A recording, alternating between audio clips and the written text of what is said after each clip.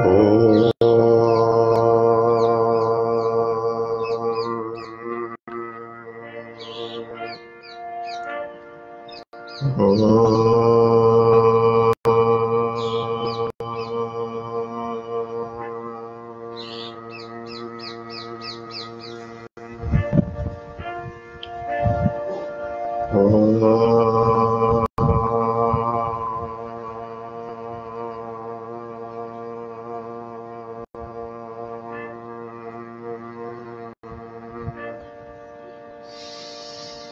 गुरुर्ब्रह्मा।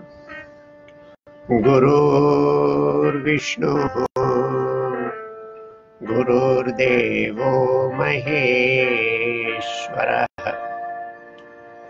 गुरुः साक्षात् परब्रह्म। तस्मै श्री गुरवे नमः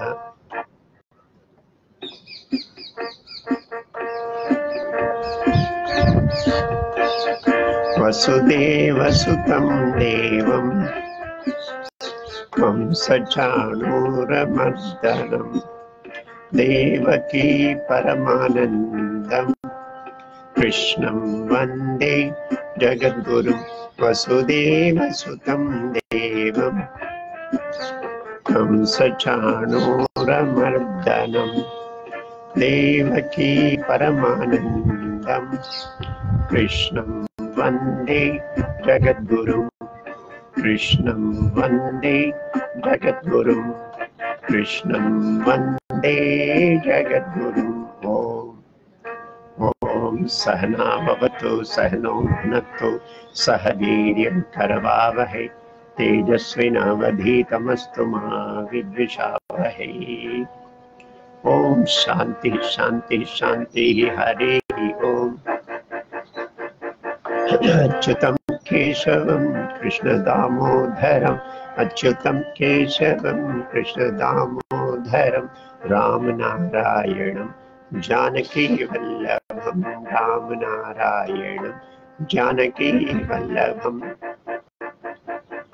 अच्युतं केशवं कृष्णदामोदरं रामनारायणं जानकीवल्लभम्।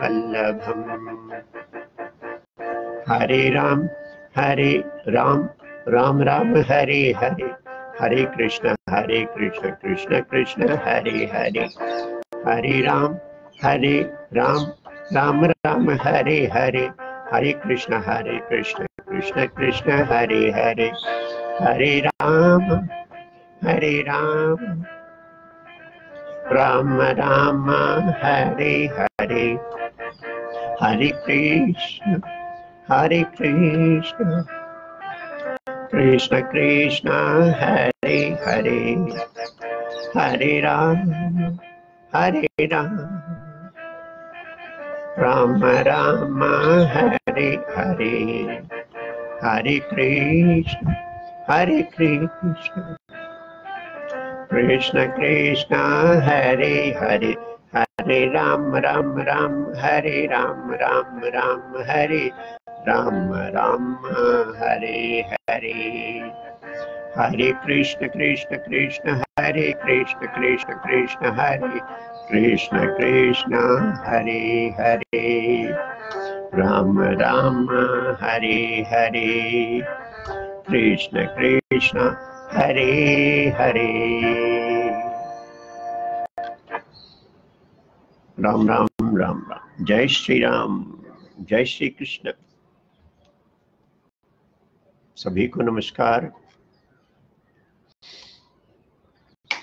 आज का इस सायं दशमी माघ मास शुक्ल पक्ष दशमी। आज का मंगलवार। सौर गणना में 21 दिनांक 21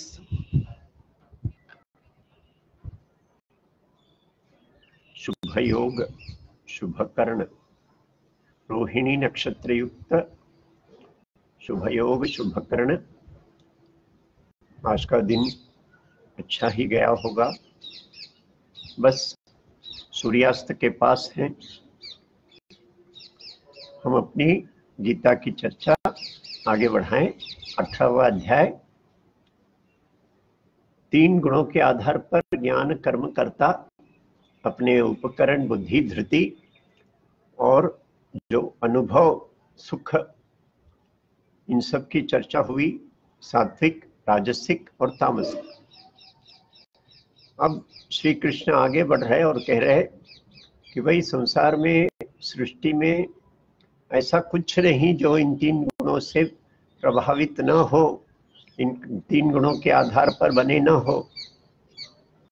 अपने संसार में नहीं, अन्य लोकों में नहीं। और इसी तीन गुण के आधार पर जो चतुर्वर्ण है, ब्राह्मण क्षत्रिय वैश्य शूद्र। इनके कर्मों के स्वभाव, कर्मों के लिए जो आधार है, वह स्वभाव कैसा रहेगा? ब्राह्मण के कर्मों के स्वभाव कैसा रहेगा? किन स्वभाव के आधार पर उसके कर्म बनेंगे? वैसे ही क्षत्रिय और वैश्य शूद्र के। तो ये चर्चा हम आगे के चार श्लोकों में देखें। आज का श्लोक न तदस्ति पृथिव्याम व। दिवि देवेशु वा पुनः। न तदस्ति पृथिव्याम व, दिवि देवेशु वा पुनः।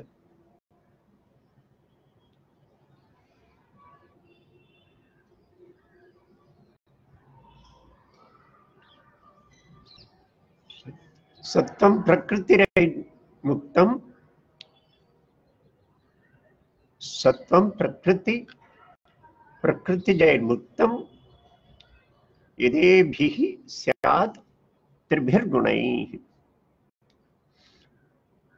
सत्वम यानी अस्तित्व में ऐसा न तद अस्ति, ऐसा कोई भी जीव, कुछ कोई भी विषय है नहीं, न तद अस्ति। सत्वम प्रकृति जैन मुक्त मुक्तम। मुक्तम छोड़ दो। प्रकृति में उपजे हुए, प्रकृति में जन्मे हुए, सृष्टित हुए, ऐसा कोई विषय वस्तु जीव प्राणी है नहीं। इदे भी सियाद त्रिभिर्गुण। मुक्तम त्रिभिर्गुण मुक्तम। इन तीन गुणों से मुक्ति पाए हुए ऐसा कोई विषय, ऐसा कोई जीव, ऐसी कोई प्राणी प्रकृति में है नहीं, सृष्टि में है नहीं, जो इन तीन गुणों से मुक्त है, इन तीन गुणों से प्रभावित है नहीं। ऐसा एक भी वस्तु विषय जीव इस सृष्टि में है नहीं। न तद अस्ति पृथिव्याम। इस पृथ्वी पर, इस अपने भूमि पर, या दिव्य देवेश व पुनः, और कोई दिव्य लोकों में देवलोकों में, इस पृथ्वी में या अन्य कोई लोकों में, ऐसा कोई विषय, ऐसा कोई वस्तु, ऐसा कोई जीव, ऐसी कोई प्राणी अस्तित्व में है नहीं, जो इन तीन गुणों से मुक्त हो। यानी यहाँ के हर विषय, वृक्ष, वह भी सत्तर रजस्तमस पर आधारित है। उसकी सृष्टि भी। हम देखते हैं कुछ वृक्ष इतने फलित फुलित होते हैं, कुछ वृक्ष उसी प्रकार के, उसी आम का वृक्ष। फलित होते नहीं, हमारे घर में तीन प्रकार के अमृत के वृक्ष थे पास पास थे, एक ही मिट्टी। तीनों अमृत के वृक्ष, जाम के। परंतु एक इतना स्वादिष्ट और इतने अधिक फल देता था। दूसरा, बहुत फूल होते थे, बहुत उसमें से अमृत के कच्चे आते थे, पर सब सूख जाते थे, गिर जाते थे। और तीसरा, कोई फल देता नहीं था। ऐसे तीन प्रकार के एक ही मिट्टी पर, एक ही घर में और एक ही वृक्ष के प्रकार में। तो वृक्ष भी सत्वरजस्तमस। पक्षियों में मैं अक्सर कहता हूँ, कबूतर में मैंने देखा दाने खिलाता था तो एक कबूतर आकर खाता था। थोड़े दिन बाद दूसरा कबूतर जब आया तो यह उसे भगाकर और उसको यदि अलग से कोई स्थान पर दाना जब दिया तो इस यह तो उसको भगाने पर ही रहा। अरे तुम यहाँ के खाओ, उसको वहाँ का खाने दो। जैसा कोई गुंडागर्दी करता है, ऐसा वह कबूतर। बेचारा वह दूसरा कबूतर फिर इसके साथ संघर्ष किए बिना चला गया। ऐसे हम कबूतर में, मैं अभी यहाँ, यह मंदिर के चारों ओर प्रदक्षिणा जाता हूँ तो कुत्तों को बिस्किट खिलाता हूँ। तो इतने तीनों प्रकार के कुत्ते मिलते हैं, सत्विक, राजसिक, तामसिक। कुछ कुत्ते इतने आलसी हैं, बस मैं जाकर बिस्किट देता तो आते नहीं। आवाज़ करता बिस्किट डब्बे का तो अब आते नहीं। रास्ते पर रखता तो आते नहीं। उनके पास बिस्किट जाकर पास रख, जा, रखता हूँ या फेंकता हूँ। ऐसे देखते हैं, बस पड़े रहते हैं। और फिर आराम से आकर वह उसे लेते हैं। दूसरे ऐसे उसी प्रकार के कुत्ते जो अन्यों को अन्यों के मुँह से भी छीन लेते हैं बिस्किट। तो ऐसे सत्वरज कुत्तों में भी, जानवरों में, प्राणियों में, वृक्षों में, पक्षियों में, मैंने ऐसा एक प्रसंग समाचार पत्र में देखा, सुना था, पढ़ा था कि कलकत्ता में सत्संग में कुत्ता आके बैठता था बाहर में पैड़ियों पर। मनुष्य तो एक दूसरे को सत्संग का समाचार दे देते हैं। अगला सप्ताह का सत्संग किसके घर में? वह घर कौन से गली में है? कौन से रास्ते पर है? परंतु कुत्ता कैसा उसे समझ लेता मालूम नहीं, आ जाता वहाँ भी। और उसके आखिरी कुछ एक दो महीने तो बस सत्संग के प्रसाद में ही उसने वह जिया। ऐसे होते होते कमज़ोर होते गया। सप्ताह में एक दिन भोजन करता तो क्या होगा? और सत्संग के ही पैरी पर उसने प्राण त्यागा। श्री रमन महर्षि के आश्रम में ऐसे जो खार उनके जांग पर आके बैठता था, उनके हाथ से खाता था। खार तो बड़ा डरपोक होता है, मनुष्य के पास नहीं आता। रमन महर्षि त्रिगुणात्म त्रिगुणातीत थे शांत, एकदम निर्विकार तो उनका आकर्षण। और वह अन्य खारों में से यह सात्विक खार होना चाहिए जो इस प्रकार का आकर्षण में उसके अंदर भी वह प्रतिध्वनि होती है। बंदर, रमन महर्षि के आश्रम में। इस प्रकार प्राणियों में भी यह सत्वरजस्तमस के प्रभाव। परंतु आज हम समाज में जो चतुर्वर्ण है, मनुष्यों में जो प्रकार है, इन तीन गुणों का जो प्रभाव, जो जिसका वर्णन चौथे अध्याय में चातुर्वर्ण मया सृष्टम यह जो चतुर्वर्ण मैंने ही सृष्टि किया है, ऐसा श्री कृष्ण ने कहा। ब्राह्मण क्षत्रिय विषाम शूद्रा नाम च परंतप। इनके कर्मों के लिए जो आधार, इनके कर्मों के लिए जो स्वभाव, गुणों के आधार पर सत्वरजस तमस गुणों के आधार पर, उसकी चर्चा हम श्री कृष्ण अभी इस श्लोक में कर रहे हैं। वो कहते हैं, न तदस्ति पृथ्व्यादी विदेवेशु पुनः।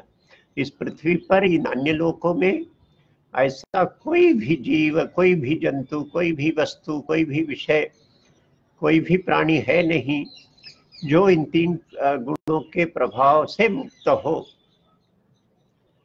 सत्वम प्रकृति जय मुक्त मुक्तम यदे भी सात्रिभिर्गुण ब्राह्मण क्षत्रिय विषाम शूद्राणाम च परंतप कर्माणि प्रविभक्तानि स्वभाव प्रभवैर्गुण ब्राह्मण क्षत्रिय वैश्य शूद्र ऐसे इन चार वर्णों के जो कर्माणी, जो कर्म है, प्रविभक्तानी, ऐसे विभक्त है, ऐसे भागीकरण, भाग किए गए हैं। किसके आधार पर यह विभक्तिकरण हुआ है? स्वभाव के आधार पर। कर्माणि प्रविभक्तानि, स्वभाव प्रभव गुण और वह स्वभाव बनता है गुणों के आधार पर। गुणों के आधार पर स्वभाव बनता है। स्वभाव के आधार पर कर्म प्रकट होता है। और यह कर्म इन चार वर्णों के लिए इस प्रकार चार प्रकार के स्वभाव, चार प्रकार के विभाग। ऐसा श्री कृष्ण यहाँ कह रहे ब्राह्मण क्षत्रिय विषाम। शूद्रा नाम च परंतप कर्माणि प्रविभक्तानि स्वभाव प्रभवैर्गुण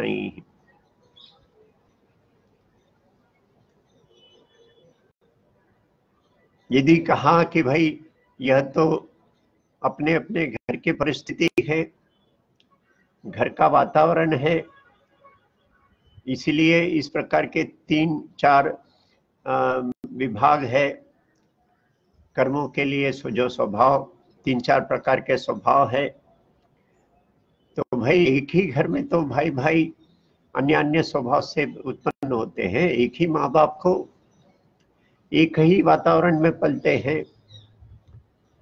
और ये बच्चे बढ़कर घर के वातावरण से प्रभावित होकर कोई अपने स्वभाव को प्रकट करते ऐसा नहीं।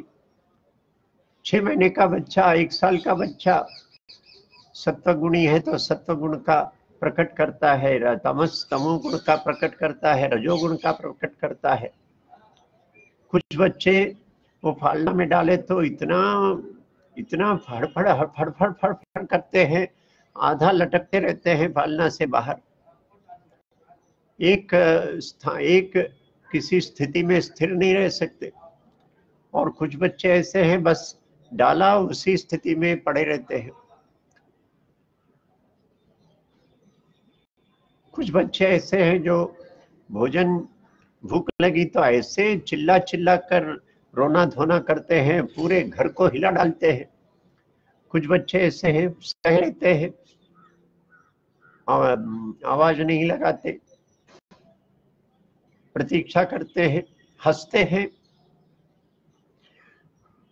किसी ने कहा, ये घर और समाज का प्रभाव को दूर करके किसी बच्चों को यदि हमने किसी द्वीप में डाल दिया, किसी ब्राह्मण के घर का बच्चा, वैश्य के घर का, व्यापारी के घर का बच्चा, कंपनी में रोज के उसी प्रकार का जो रोज़मर्रा का जो काम है, वही काम करता हुआ श्रमिक का बच्चा और किसी मिलिट्री के अधिकारी का बच्चा, ऐसे चारों को हमने यदि किसी द्वीप में डाल दिया एक साल के थे उसी समय से, डेढ़ साल के थे उसी समय से। समय समय पर भोजन खिला दिया। अब तो ये चारों एक ही समान पलना चाहिए। समाज का प्रभाव नहीं, परिवार का प्रभाव नहीं। चारों एक समान द्वीप में, एक ही समान के वातावरण में पल रहे। परंतु होता है, चारों एक समान पलते हैं क्या? चारों अपने अपने स्वभाव को प्रकट करते हैं। उसी द्वीप में किसी को तितली तितली के प्रति रुचि हो जाती है, वह तितली को ही ध्यान देता, तितली के बारे में सोचता, तितली के साथ खेलता।